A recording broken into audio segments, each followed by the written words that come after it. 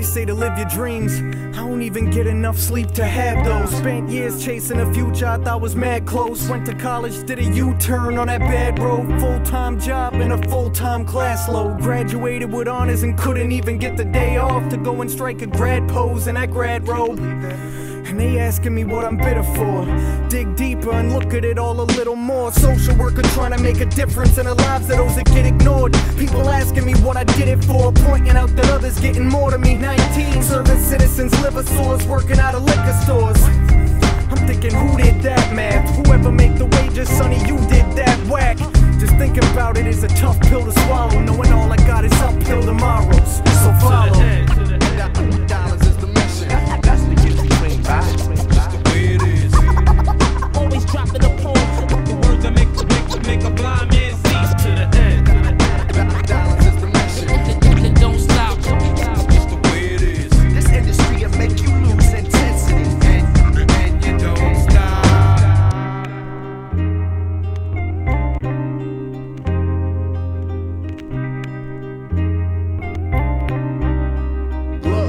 Know nothing in this life is free. Working six days for the pay plus six out of seven other nights a week. Free time, don't know what it means. I'm building a label up in the meantime. Struggling, wondering what it's like to breathe.